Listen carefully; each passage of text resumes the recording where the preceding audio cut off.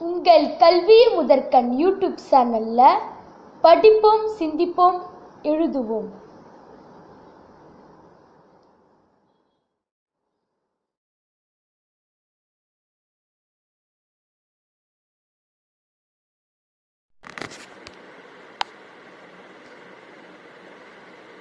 The practice of systematically killing the female foetus is called female foeticide.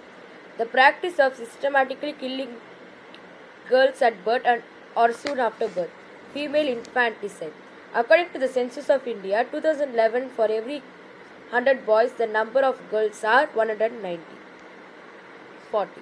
In India, the female literacy rate in 2014 was 75.7%. Party, Bhatyachal Society, a woman private space in her home. The law that protects the rights of women in India, Moral Traffic Prevention Act many parts of India, girls are discouraged from taking up sports and other physical education. True. The Beti Bachao scheme was launched.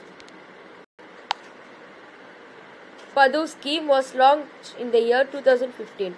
Industrial took place in the 18th century. Gender differences should not determine both of them. It means capabilities and opportunities.